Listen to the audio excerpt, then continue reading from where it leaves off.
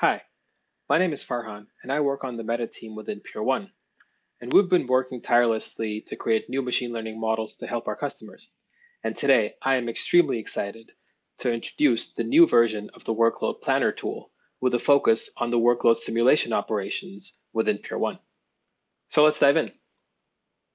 When you land on the Workload Planner page, the first thing you'll notice is our overview star map where you can at a quick glance figure out which arrays you need to focus on, with the y-axis showing you the projected load and the x-axis showing you the projected capacity over the next three months, and you can pick the next month, six months, or up to a year.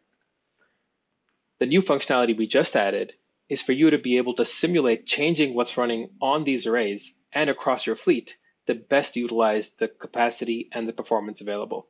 So in this case, I can look at one of my arrays, which is about to run out of capacity.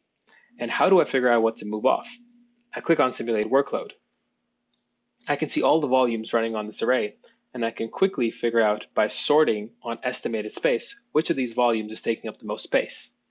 I can select that volume, and I can actually click on Migrate and simulate moving that volume to one of my other two arrays.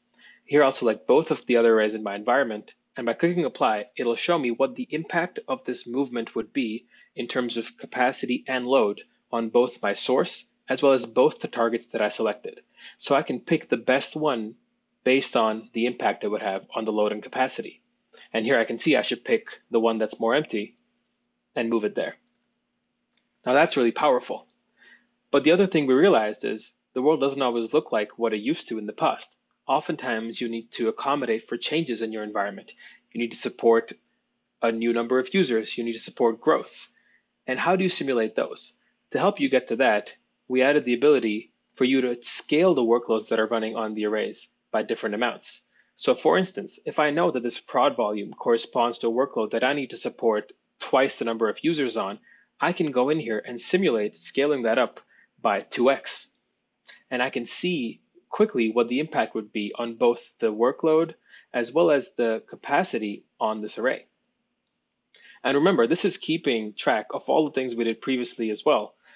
And adding all these steps up and the machine learning models in the background are simulating what the impact would look like. I can go in here and select a different subset of the volumes that I know correspond to different workload and scale those by a different amount, say 5x in this case and see again what the impact would be on both capacity and performance. Now that's really powerful. So in this case, we see that after migrating one of the volumes to a different array, I now need to scale certain other volumes to 5x and 2x in this case, and it won't fit. So what can I do? I can then go back and click on simulate hardware and actually simulate changing the underlying hardware that this workload is running on to say an X70 or I can simulate adding a new shelf with 90 terabytes of more capacity and see what the impact would be on projected load and capacity. And I can see the net result of everything I did in the simulation summary as well as on the star map. We think this is really powerful. I just simulated skin changing workloads up and down across my environment based on things I need to accommodate for in the next quarter. I just simulated migrating workloads between different arrays to optimally utilize the capacity and the performance that I have available, as well as upgrading one of my hardwares to a different controller, as well as adding capacity to make sure I can accommodate the changes that I need to in the next quarter. We think this is a radical change in how simple it is to manage your storage, and we're really excited for you to head on over to Pure1 and give it a shot.